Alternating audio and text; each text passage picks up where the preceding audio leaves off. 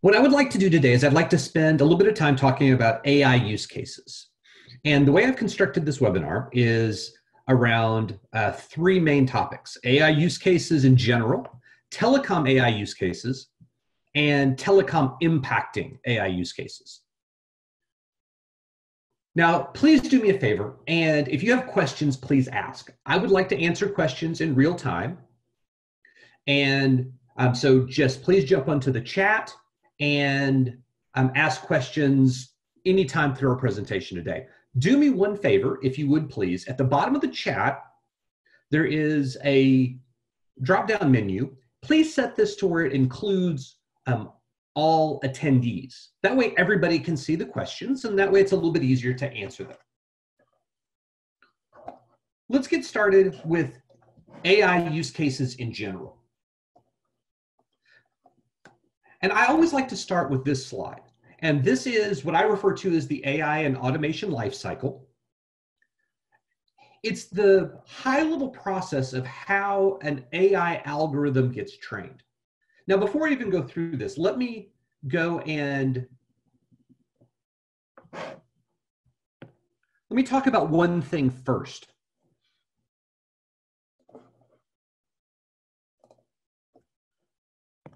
We're going to use the term artificial intelligence. And artificial intelligence is a very generic term. It comes from science fiction from the 1940s.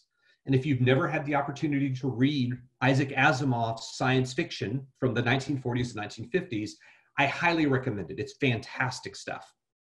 And specifically, he had a series of books that are referred to as the Robot series. And in the Robot series, it's about um, a human detective and a robot who is assisting him to solve a murder. And if you've ever heard about the, the three laws of robotics or anything like that, that comes from Isaac Asimov. And in the 1940s and 50s, when Isaac Asimov thought of this type, you know, artificial intelligence, it really was trying to be a computer generated human mind it was it had emotional creative thought. We're not there. What we're focusing on is a form of ai that's referred to as narrow ai which is really trying to solve a problem. There is a form of ai that is is generalized agi artificial general intelligence and there are some people who are looking at doing that. It's a fascinating study. Uh, if anybody does have questions about where to start send me an email reach out to me on LinkedIn. Uh, but we're not going to talk about that. We're going to talk about narrow AI. Now, within narrow AI, there are really two subcategories of narrow AI. One is called a rules-based narrow AI, and the other is called a machine learning.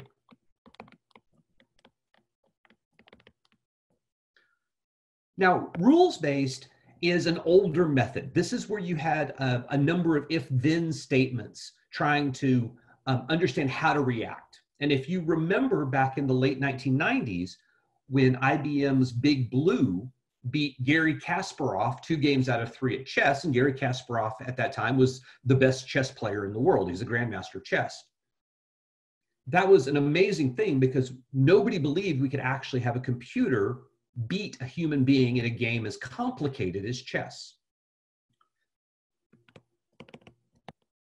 That was a rules-based system. That was this set of if-then statements. If I move a pawn, you should move your rook. We don't do that much today. There's still some instances of rules-based, um, but not that much. What we're focused on is what's referred to as machine learning. And machine learning is really trying to learn things based off of data. And a subcomponent of machine learning is called deep learning. Now, the reason I'm mentioning this is because this term learning is really important. And we are trying to learn something. We're trying to, to, to learn some behavior, some prediction based off of a set of data. And so with that backdrop, this slide makes a lot more sense. So this is the AI and automation lifecycle. The first thing that we need is we need data, representative data of the problem that we're trying to solve. If you're trying to cure cancer, you need um, MRI pictures of people with and without cancer, or detect cancer, I should say. If you're trying to um, detect or, or, have an algorithm that can tell pictures of cats versus pictures of dogs, you need to have pictures of cats and pictures of dogs. So this data is going to be something that has something we want to learn. In the telecom space, this might be network data, might be cell site data, might be customer data, might be marketing data, whatever that is. Typically, it's going to be what's referred to as labeled data. And what labeled data means is it has data and it has some label, some outcome that we want. And the easiest way of thinking of this is cats and dogs. If I have pictures of cats and they're labeled cats and pictures of dogs that are labeled dogs. So the first thing I need to do is I need to gather my data. Now, this can be quite challenging. I don't want to make it seem like this is easy, but this is the first step. Second, we need to create a model. And if you're if you've ever heard the phrase training a data model, training an AI model, this is that training phase. This is where we're trying to take our data and we're trying to learn how to make a prediction based off of new data. I've taken 5,000 pictures of cats, 5,000 pictures of dogs. I've built an algorithm to tell the difference between cats and dogs. And now I've got a new picture of a cat. Is it going to tell me that it's a cat? Is it going to understand that it's a cat? Now, once I've created the model, I have the opportunity to deploy the model. And deploying the model is really where I use the model with new data. Let me give you a simple example that, that probably most of you have used um, a number of times. In a smartphone camera app, be it Android or, or iOS, if I were to pull my smartphone out and open the camera app, what it would do is it would put a box around all the faces that it finds. So it's using a form of artificial intelligence called face identification, not face recognition, not trying to recognize whose face it is. It's just trying to recognize that it's a face. So it, and it, it's based off of tons of pictures that, that Apple or Android or whoever has had in the past. So they've deployed it. They've deployed it in my smartphone. And when they deployed it in my smartphone, it's actually using it on a new picture that's never been analyzed before, whatever my camera is pointed at today. So that would be a new, new data, and then I would do some prediction. Now the prediction in the simple example is the box around the face.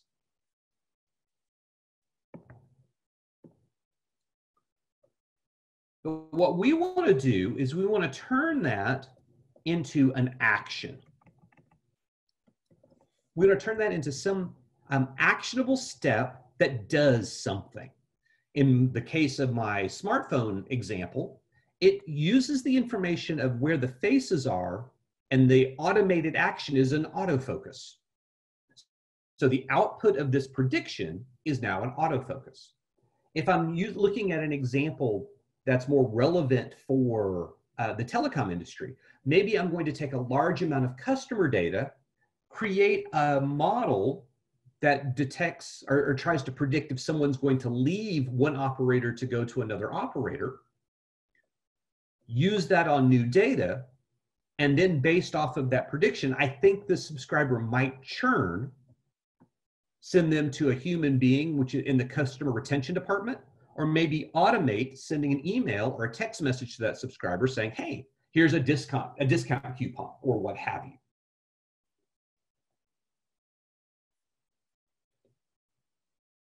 So this is the high level AI life cycle. What we're going to focus on today is we're going to focus on really not so much the training part, we're going to focus on the use cases. What are some examples where we could use artificial intelligence and machine learning? Now, I think it's worth mentioning, and I have it at the, the very bottom of the graphic, is over time, what I may do is I may look at the results. I may look and say, you know what, I predicted that this particular customer would churn and he didn't. I didn't predict that um, that that one would churn, but they did. So what I might do is I might take more data, retrain my model, and then redeploy it. Now we've seen this. We've seen this type of thing in action. When I've updated my operating system on my smartphone, my camera app might have gotten better. Well, what's happened is they retrained the model, they've got a better model, and it was updated as part of me deploying that new operating system. So AI and automation lifecycle. Now, with that as a backdrop, what I would like to do is I'd like to look at a number of use cases. And in all of these use cases, we're trying to solve one of these narrow AI problems. Now, as we think about this from a, com a, a communication service provider, a telecom operator's perspective, there's a number of ways that we could think through this. What this chart is showing, and this comes from a Gartner report, we have on the x-axis the number of opportunities. How many opportunities are there in the communication service provider space for this type of artificial intelligence use case? And then on the y-axis, how feasible is it within the telecom industry? So let me give you an example. This upper right-hand quadrant is really the most interesting one. Speech analytics. Well, we'll take a look at that. That's going to be something with respect to chatbots.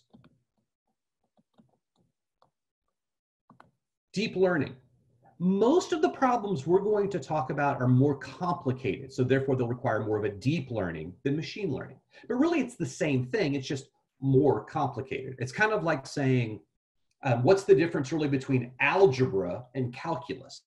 Well, calculus is really just more complicated algebra. And so you can think of algebra like machine learning, calculus like deep learning. Intelligence on the edge. How can I deploy something potentially in an edge network, and then a lot more personalization type things.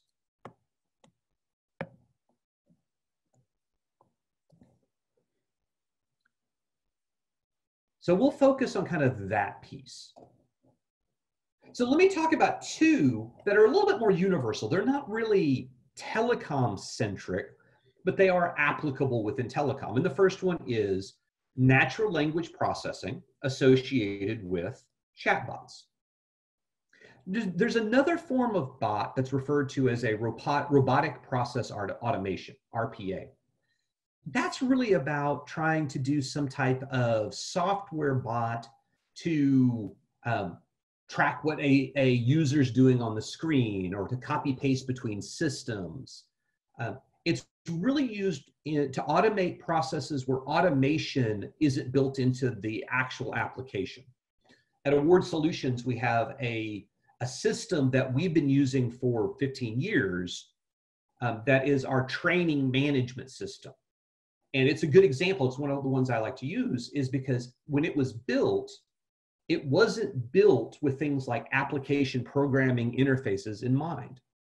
And so as things have evolved, it hasn't. And it's just not worth it to us to fix it. it, it it's not that important. What I what I've done is I've created some bots to do some basic automation on a system that really wasn't designed for automation. And that's really all we'll say about RPA.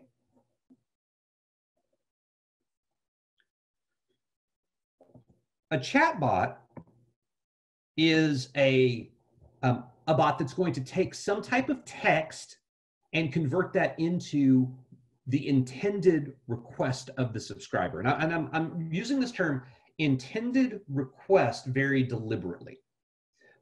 Human speech is really hard, and natural language processing is really, really hard. And so if I were to put something in a chat, I can't just parse each of the individual words. because sometimes that doesn't really give me the meaning. I need to look at things in context. And a chatbot is doing that. So it's trying to take what I write and convert it to actually the intended thing, and then take actions based off of that. So let me show you a simple example of this. I always like this example. And so let's say I've created a chatbot for award solutions, and I'll call it the award technical assistant bot. And I go and I type in my chatbot, what time does the AI and machine learning class start? Now, as human beings, that's not a big deal for us, right? We, we would understand that very easily. But what does the computer do? Well, it's starting to go through this and it's having to look for things. So, what is a question? time, time could mean a lot of different things. When we use the term time in this context, what we're typically meaning is a specific hour. And on top of that, it means a specific time zone. So for me, I'm in central time zone in the United States. And so it means this particular webinar started at 11 a.m. If you're in some other time zone, it still started at 11 a.m. my time, but your time it would have been different. AI and machine learning class. Okay, that's a specific name, that's a label. That's a product, that's a SKU that I'm looking for. And then start has a very specific meaning as well. So you can see this phrase though it's pretty easy for us humans to figure out, for the computer, it's needing to figure out how to give a response. And it just so happens the response starts at 3 p.m. So it's parsing that and giving the response.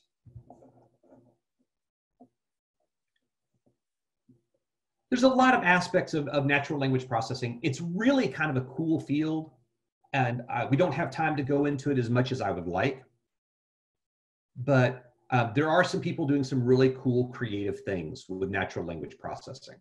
One of my favorite things, if as an aside, I'll put this into the, the chat. Um, it's a, a, company called Botnik. Uh, they basically do uh, AI generated fan fiction. And so they're in the process of sending out um, on their on their monthly newsletter um, AI generated Harry Potter fan fiction. I find this stuff kind of funny. Natural language processing. Another example that we would have potentially within the telecom industry would be image recognition. And this particular example, what you see is I just have a, um, a traffic cam and a number of, of cars driving down a street. And what we've done is we've said, I want you to identify all of the cars. Now, why would I do that? Why would I want to identify all the cars? well, maybe I want to identify the cars because I want to do an analysis of traffic. And so I'm wanting to just count the number of cars on the road. Maybe it's more of a security purpose. And what I may do, even though they're blurred out in my graphic, I may take all of the license plates, take the information that's on the license plate, convert the license plate number to real letters and numbers, and then I might even just log all the license plates or go to some type of government body and do a, a lookup so I know who's on this particular road at this given point in time. So these are some examples of using image recognition. Within the telecom space, image recognition has been used for taking drone footage of cell sites and seeing if there's problems. I've even heard of, of use cases where people are taking infrared pictures of cell site equipment or network equipment, and based off of the infrared, deciding if something is a problem or not. So image recognition. So let's kind of take this one step further and let's look at an example that, that is a good lead in for what we want to talk about here in a little bit. I'm going to take some network data, whatever that network data is, and I'm going to train a model to identify something. I'm going to identify a failure. I'm going to identify um, a problem. I'm going to identify a attack on my firewall, whatever that is. Then I'm going to deploy it in my network. I'm going to take new data, take some prediction, and then take some action. Hopefully automated, but maybe I'm going to send it to a human being and let the human being take action. And again, that's not bad. I mean, think about a 5G network. If you've got a 5G network, you may have thousands and thousands of cell sites.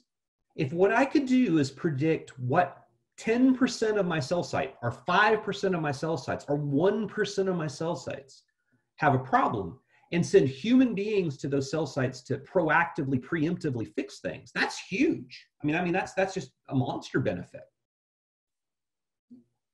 So let me pause for a second. Any questions comments or thoughts um, of what we've discussed so far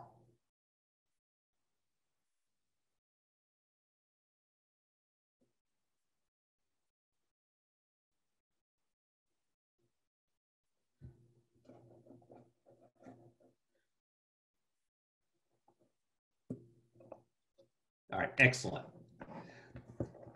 So we've talked about some basic use cases, specifically um, image recognition and natural language processing, and those are both great examples.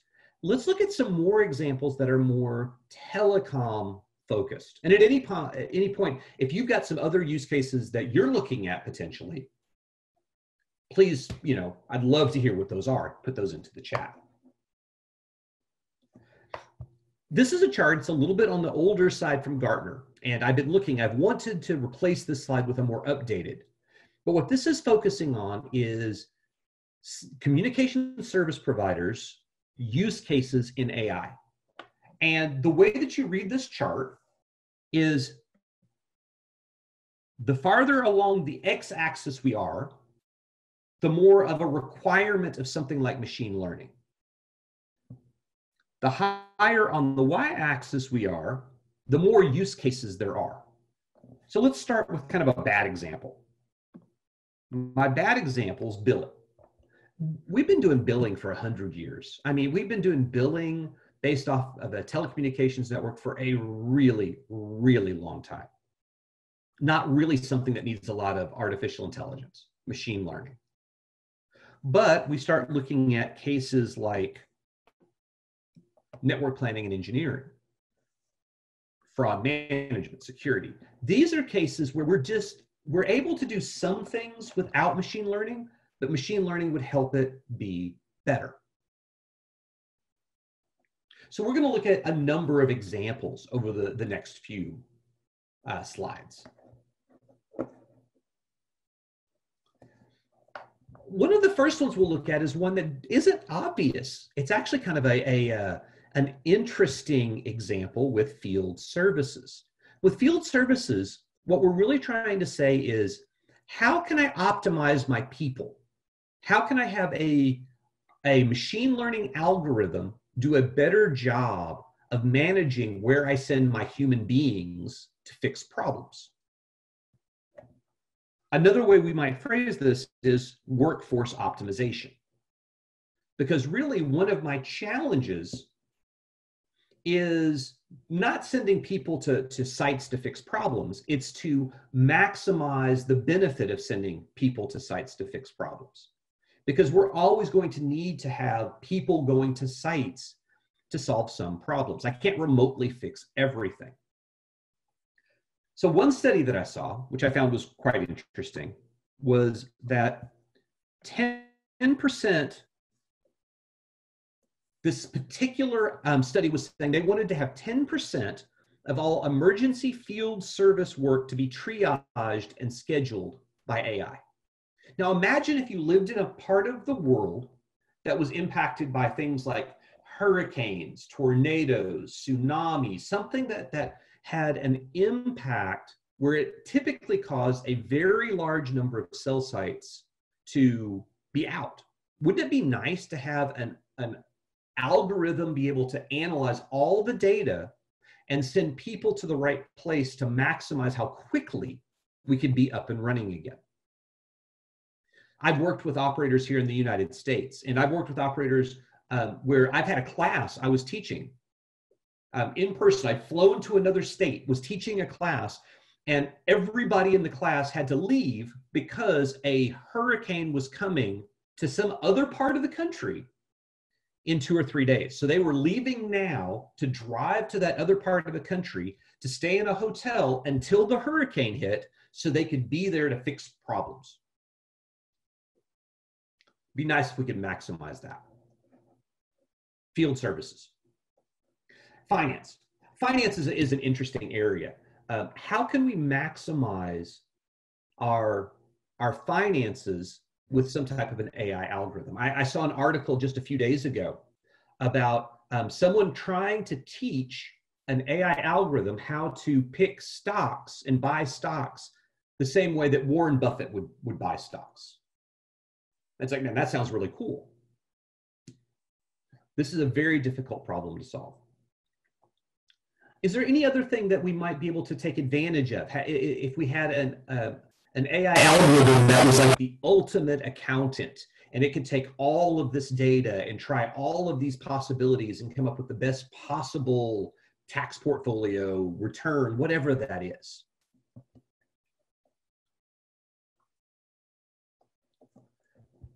Network assurance. Simply what network assurance is, is nothing more than how do we verify, how do we validate, how do we maintain our network and make sure customers can, can do things that they need to do? How do we make sure our network is rock solid? How do we make sure our network is working properly? So it would be really nice to take large amounts of data, process that data, and see where there are potential problems. Now, now you might be thinking, we've been doing network assurance for ever this is not a new concept at all. But if you think about it, how have we been doing network assurance for the past hundred years? We may not have used this term that entire time, but it's really more KPI based. Key performance indicator. And what KPIs are is this is really some basic math based off of a small number of counters. Call attempts, call failures, call drops, handover attempts, handover failures, those sorts of things. But it's a small number of counters that we've done some math and made into a key performance indicator. But what if I were to say to you, no, no, no, no, no, I don't want to do it that way anymore. I don't want to do it based off of a key performance indicator. What I want to do is I want want to take a very large amount of data. I want to take all counters plus all logs plus all customer support tickets plus all social media and I want to take all of this stuff together and build an algorithm to see what's going on. It's quite an interesting thing to think about. Going from using just a fraction of the data that's available to us to actually everything that's possibly available to us. Network assurance.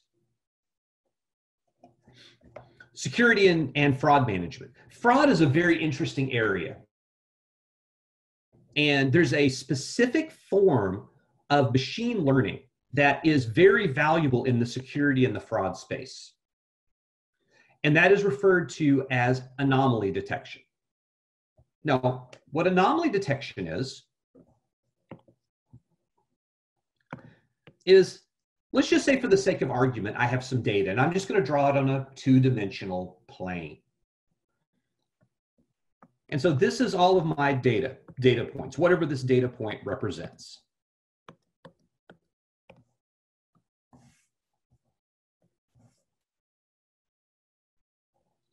What anomaly detection is going to do is it's going to take the data and it's going to see what's statistically normal.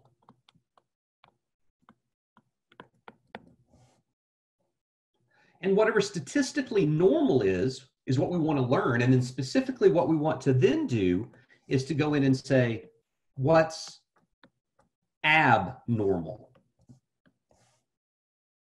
What's statistically outside of the normal?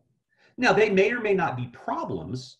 It's just outside of normal. As a matter of fact, the way I've drawn this data, this may be exceptionally good.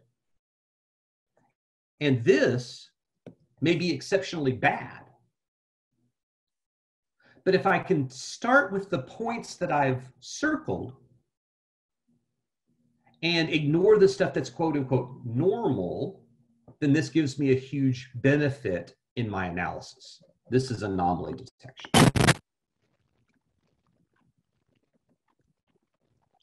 This is also a very, very hard problem to solve.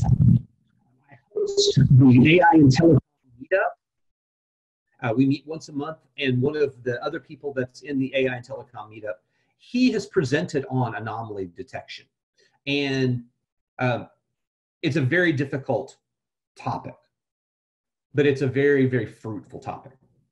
And that's a good example of what security and fraud management is trying to do. Is it's trying to understand what normal is, normal from data's flowing through a firewall, normal from credit card transactions, and then trying to predict what abnormal is so that we can take action. Now, that action may be assign this to a human. The action may be automate something. And so if we find something that doesn't seem right from our firewall, maybe we're just going to shut off the uh, that stream of information in our firewall. Network planning and engineering is similar to what we were talking about before with our network assurance. Right now, we use a fraction of the data that's available to us for our network planning and engineering. What happens if we could use more of it? And we start to look at things like traffic patterns, right? Is there something I can do dynamically um, where I have more people during the day than uh, that's in a location than at night? Um, how do I do traffic? How do I do network planning and engineering when we're dealing with something like a a, pandemic when the nature of the way we behave has changed. How do we learn how to behave in that new normal? So I did network planning and engineering for uh, a number of years prior to coming to Award Solutions. And so this is always an area that I think about. And how do I um, forecast my data? As a matter of fact, there's an area within artificial intelligence called a recurrent neural network or an RNN. And what RNNs do is they focus on time series. So maybe all I want to do is to use AI to do a time series project, project, projection so that I can better predict the future.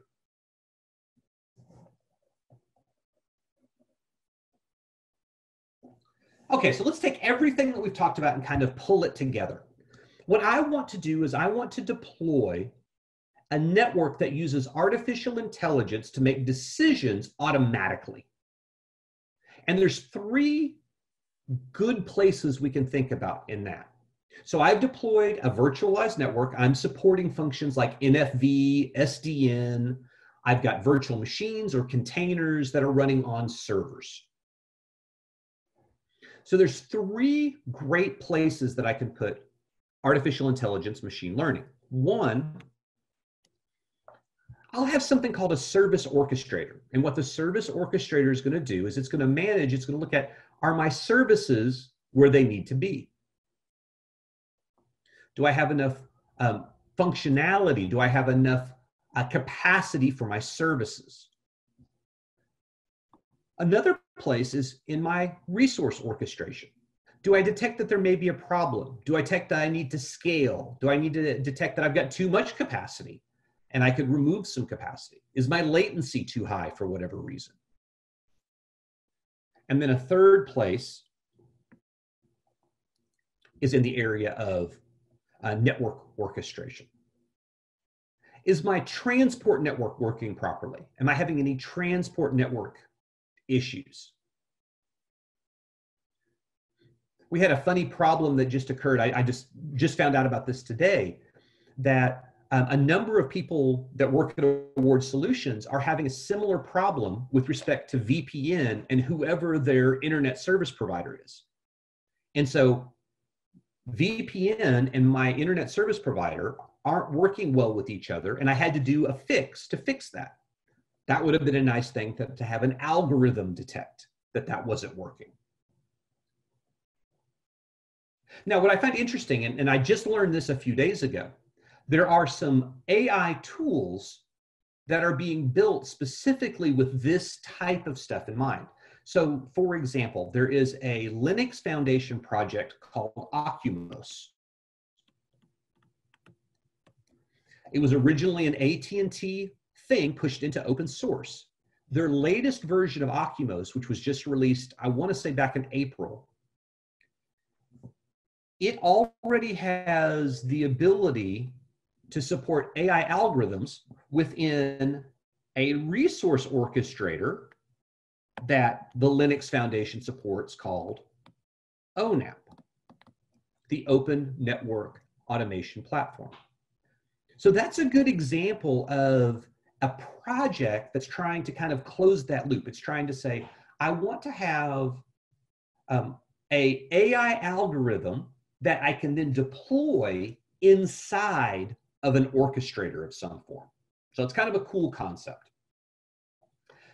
Can't tell you much more than that. Than than it's that it has uh, that vision, and this interaction is supported. But it's a cool concept. It's a cool concept. Okay, so we talked a little bit about AI um, use cases within the telecom industry. Any questions, comments, thoughts at this point?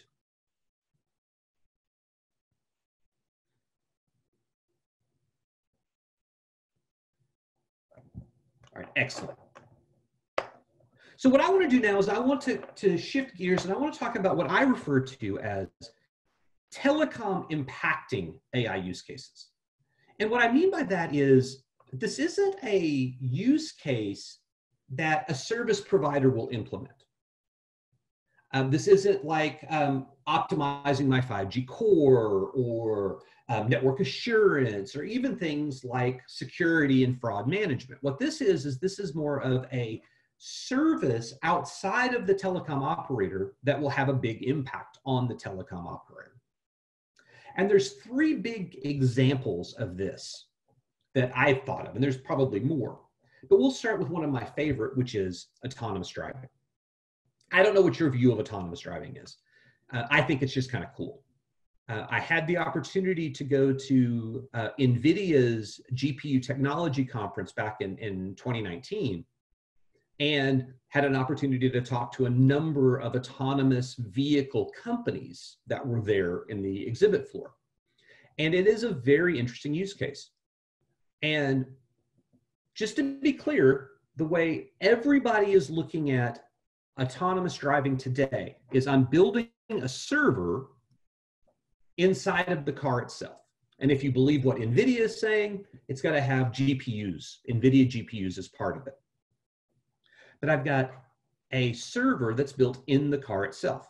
And the car is going to have a number of sensors. Typically, those sensors are going to include cameras. And I'm very clear, the, the S at the end is important, cameras. It's going to have radar. It's going to have LiDAR. And all of that data is going to be fed to this server which will then make a millisecond by millisecond decision of what needs to be done. Do I need to apply the brakes or do I need to uh, apply the accelerator? Do I need to turn left or do I need to turn right?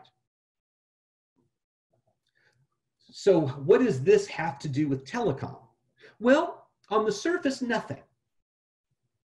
I might not have any relationship with telecom. And as a matter of fact, the way things are working today in all of the existing autonomous driving, it has really no impact on the telecom network at all. It's completely separate. In uh, one of the suburbs of Dallas, not too far from where I live, there's actually a autonomous driving taxi type service that you can use. I've not used it. It's not something that's really convenient for me, but it is um, something that's there. uh, Arizona um, and California have seen a large amount of autonomous driving trials today. So, how does this have an impact on the telecom industry? Well, the impact on the telecom industry is really with respect to data sharing. So, right now, the way I've drawn this picture, this car is taking all of this information that it's receiving and making a local decision, which is great. But what's happening one mile ahead? What's happening around the corner? Is there a way that I can include information from the cell site, from the network, that tells what's going on, the current traffic conditions? Wouldn't it be great if I knew, if my car knew that one, 10, 20 miles ahead, there was an accident? one, 10, 20 miles ahead, there was a um, an ice slick because it's winter and we're starting to see people um, start to skid out on ice. We see a really bad storm. We see something that's flooding. And so if I know a car a mile ahead of me or five miles ahead of me is stopped, my car may slow down early so that by the time it gets there, I'm not part of the wreck. This is referred to as V to X. And there's a, number of different flavors of V to X. And one of them is vehicle to network. How can my network share information with the cars so that we can have more information that's up and coming? So this is an area that a lot of operators are looking at trying to do some support of there is 5G does have a set of protocols that are designed specifically for this, sharing this information. Another flavor, which is outside of the telecom industry, is called V2V. Have the vehicles talk to each other directly. And this is something some manufacturers are starting to look at. I think V2X is going to be the better solution because it's going to be able to provide more information. I'll be able to get more information uh, of a wider area versus just the cars that are nearby. I really like the autonomous driving uh, concept. And I think the impact on the, the telecom network could be quite interesting. So autonomous driving is a good example. Another good example is Internet of Things. And with Internet of Things, what we're trying to do is we're trying to keep valuable information, but not everything. So let's think about this for a second. So Internet of Things, all this is really talking about is how I have a number of devices. And Internet of Things is a very generic term. Um, if you have a um, Alexa in your house, if you have a Nest thermometer, thermostat in your house, uh, if you have a you know a webcam in your house those are all examples of internet of things and so it really has a very wide variety of things. My wife is is very much into growing flowers. And so she has a couple of sensors in the house. It's really nothing more than moisture sensor. What's the the the um, um, how much moisture is in the air? Uh, what's the humidity? And if the humidity is too low, then she waters her plants more. It's not an automated process, but it's information. What if I were to have a factory or a large farm? And I had a large number of sensors, and those sensors were providing information on a very, very regular period of time. For example, I may have something that tells me humidity on a per second basis. And it's looking at humidity, temperature, moisture in the ground, uh, anything like that. And it's telling me this on a second by second basis. Do I need all of that information to be stored? No. But what I might need to do is I might need to detect if there's a problem and, and do an action. So I might build a model that receives all of this data, analyzes the data, and then it does two things. One, summarizes.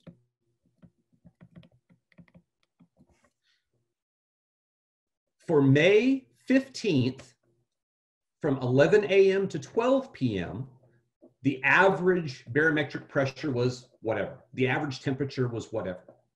I want to know that from a statistic so I can do some, some post processing, but I don't need the second by second results.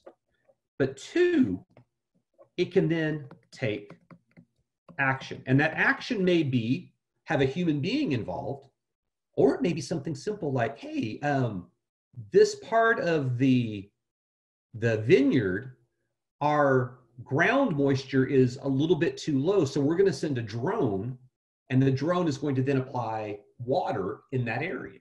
Or we'll turn on some, some sprinkler system. Or we have, we're detecting too much activity of a certain type of bug. So we're going to send some type of a drone that's going to go and apply some type of a pesticide or whatever the case may be. But what I want you to see in this is I want you to see how what we're doing with AI is we're taking this large volume of data, one, processing it to get some type of insight, and then two, storing information, and again, providing actions.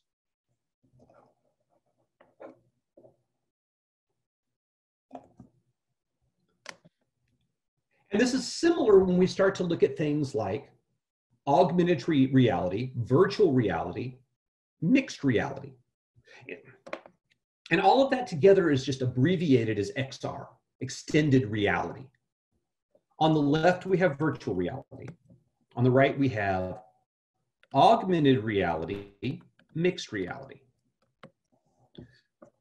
Virtual reality is where I put on a headset and I am completely immersed in this fake, this virtual world. Okay. So why is this anything to do with AI? Well, AI is used in some of the predictive algorithms of how the world needs to behave. So people are using machine learning techniques as part of building this game or building this immersive experience. How does this have an impact on telecom? Well, these headsets are really challenging to build. Getting the optics right, getting the amount of information, getting the processing power. So what some people are trying to do is they're trying to deploy some hardware close to the cell site that's doing the, the real processing of the data and then sending this information to the device so that it has a smaller footprint, it has less processing power, a lower battery. So why is this a big deal? Well, one of the things that's important about virtual reality is we have a delay of 20 milliseconds. This is referred to as a photon to motion delay. And that photon to motion delay has to be less than 20 milliseconds. And here, here's why. Imagine I put on my virtual reality headset. And so what's on the screen is whatever is presented to me. Now, when I move my head, I feel my head moving. I know I'm moving my head. My brain knows I'm moving my head. But if the image doesn't change as I move my head, over time, a, a, part of my brain starts to kind of freak out. It doesn't understand what's going on. And that's where you start to get nauseous. That's where you get this VR sickness. So, in other words, I need my telecom network to be able to support a very high um, data bandwidth, a very low delay, a low latency, so that I can have the service that literally doesn't make a subscriber sick. Augmented reality, mixed reality is, is similar in the sense that I'm trying to take an image, and in this particular thing, I'm taking a picture from my camera and I'm overlaying information on that image. Uh, I always go back as an example. I was talking to a, a coworker of mine. We were going through uh, this type of example, and he and I were in Manhattan together, and we were trying to find a specific restaurant. And this is well before a lot of these type of technologies were available. And so I said, wouldn't it have been great if I could have just taken my smartphone, held it up, and pointed in a direction, and at least tell me if I'm going in the right direction or not. That's what this is talking about. But in that same vein, if I have my camera pointed at a building and it says that it has a specific store in that building, but there's a delay, then I might have the arrow pointed at the wrong place. I might walk into the wrong building. So as a matter of fact, for augmented reality and mixed reality, it's a 10 millisecond delay. If we get more than 10 milliseconds, it starts to cause problems.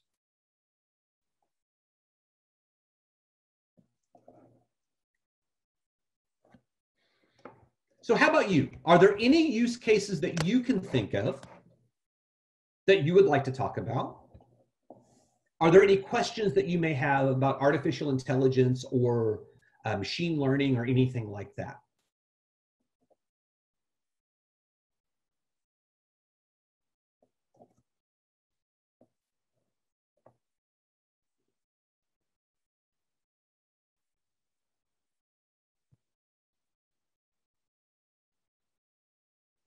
Well, guys, I want to thank you so much for spending time with me today. I hope that this has been a valuable use of your time. Again, if you'd like to, to reach out to me, uh, easiest ways you can send me a, an email or you can reach out to me in um, on LinkedIn. Um, question popped up on the chat. Can AI be used for legal? It's a, it's a very good question. And yes, one of the things I've seen within the legal space is they're using that natural language processing. There's an aspect of natural language processing called text summarization. And so what I've seen people do is I've seen people use the, the text summarization to take large legal documents and kind of break it down into those key pieces that we need to make sure that we're, we're adhering to, like in a contract type of thing. Um, so yes, AI for sure can can be used in legal, and there's a lot of legal implement, implications to AI. Kind of as a side note, on Monday, May 18th, there is a um, going to be a discussion about AI and kind of, of ownership of AI and some legal issues with AI um, as part of the AI and Telecom Meetup. You can find me on the Meetup page or you can reach out to me in LinkedIn if you'd like to know more. It's open and it'll be online. All right, fantastic. Well, I'd like to thank everybody for uh, the time that they've uh, put into this today. I really do appreciate uh, taking time out of your busy schedule. Uh, please feel free to reach out to me if you do have any questions. And we will be coming back in June with another webinar. And so I hope to see you then. Thank you guys so much and take care.